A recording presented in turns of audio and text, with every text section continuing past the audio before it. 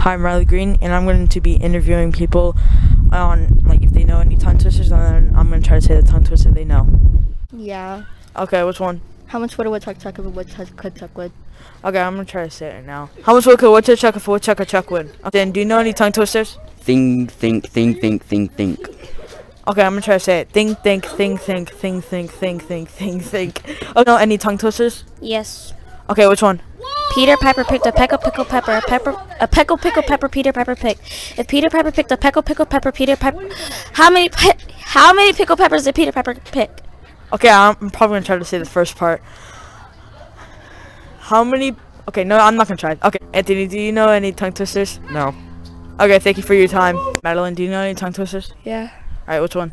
Sally sold seashells by the seashore. Okay, uh, Sally sold seashore, seashells by the seashore. Alright, Derek, do you, do you know any tongue twisters? Yes, that Peter Piper one. Okay, uh, Peter Piper picked a, pick, a peck of pickled peppers. Okay, th thanks for watching KMS. Hope you enjoyed. See you again next time.